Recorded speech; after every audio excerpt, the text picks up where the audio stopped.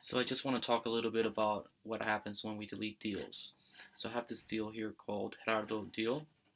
Let's go and check it out in the um, sorry in the statistics.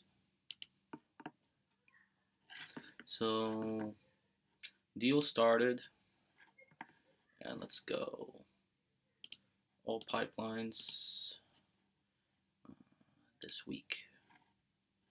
All right let's go even. Yep.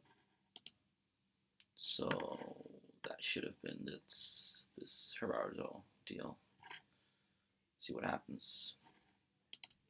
So there it is Gerardo deal. Now let's see what happens when we delete that deal. Or firstly let's lose it.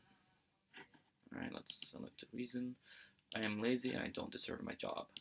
Okay. So let's lose that deal.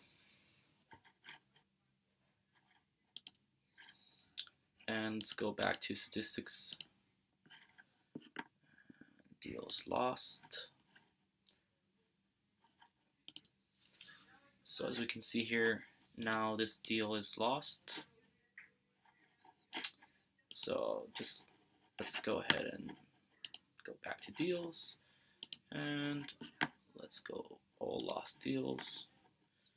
And um, reopen that. And let's now let's win it. And then let's delete it.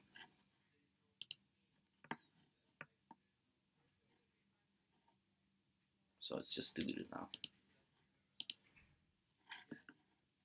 Let's refresh here so the deal is not lost anymore.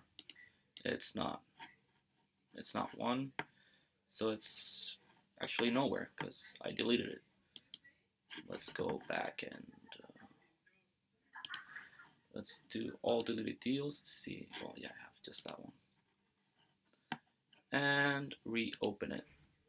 So it's gonna be reopened as just open not won lost but we can just go ahead and win it again go to statistics and um, refresh here. And there is the deal again. Okay hope that helps